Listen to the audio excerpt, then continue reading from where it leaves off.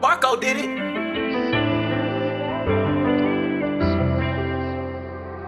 Breathe, I'm on the ill.